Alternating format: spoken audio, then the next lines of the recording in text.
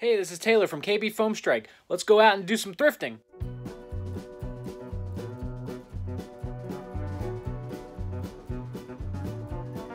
Okay, first store, and I find something I've been on the hunt for. Here we have a nice Falcon Fire for two bucks. I've been thinking about wanting a Spamp for a while, and for two bucks, that's a great start. Above that is another great find, the trusty Hammershot.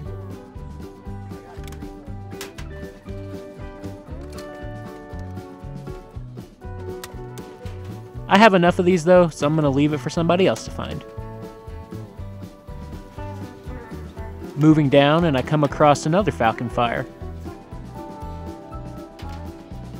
I've never seen this thing thrifting before, and here we have two in the same store. This is a pretty good day so far. There was a bunch of old classic N-Strike stuff too.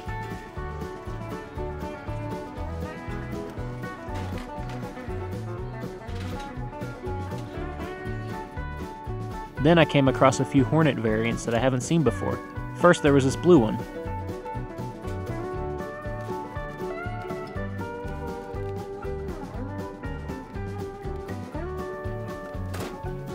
And over here was a green Hulk one that goes along with the Titan that we found in episode 3. These are some pretty cool finds, but not as cool as this one. A green Rayven for 350? Yes, please!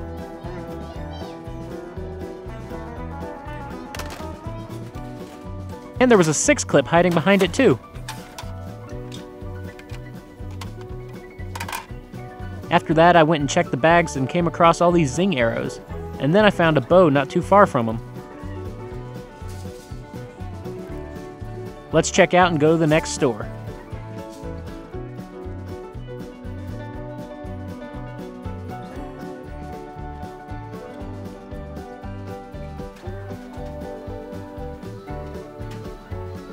First thing we see here at this store is another one of the Rebel style retaliators.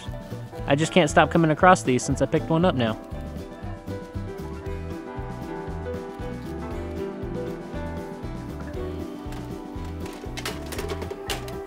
There was also a super drum here for 3 bucks.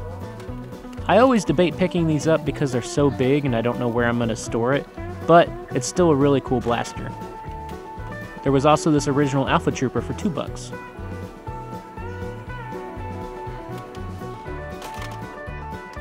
Up here on the top shelf, I found a Dreadbolt, which is perfect for those arrows that we found in episode 7. This one, though, it's seen its better days, and uh, the priming bar was bent, and they wanted 10 bucks for it. No thank you. I'll wait for another one.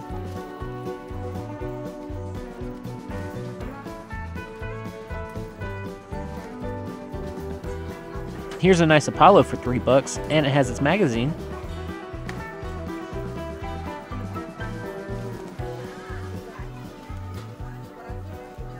Then on the other aisle, I spotted something painted all black. It turned out to be a Rapid Strike.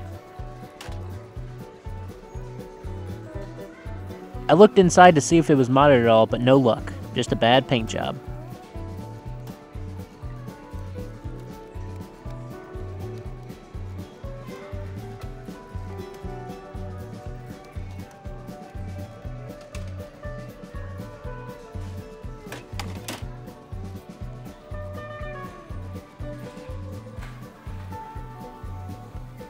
Lastly, I made my way over to the final aisle, and I came across this beautiful Stryfe.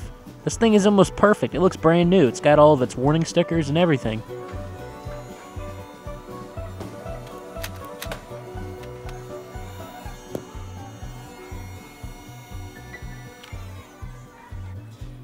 After this, it was time to check out, but I decided to step next door to Ross just to see if they had anything. Boy, am I glad I did. First thing I come across is an Apollo set for 20 bucks. It's crazy because right next door there's the exact same thing for $3.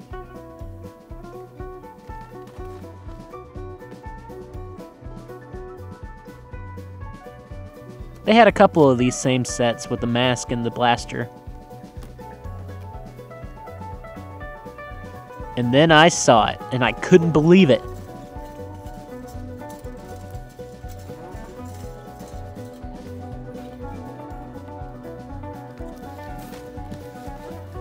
This place has a Prometheus! Holy moly!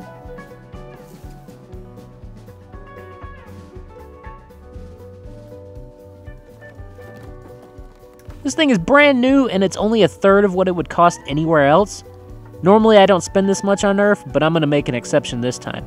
I am so hyped to use this on the field.